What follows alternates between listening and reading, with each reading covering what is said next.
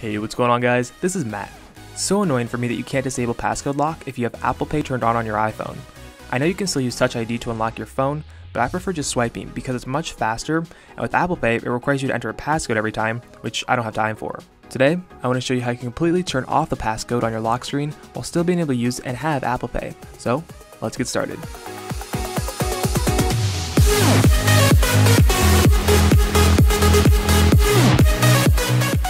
Alright, this is super simple to do, and I'll be using a jailbreak tweak, so if you don't know what I'm talking about, I'll put some links in the description that will show you how to jailbreak your iOS device in under 5 minutes for free. Go into the Cydia Store and search for QuickPass, which is free as well, and install it.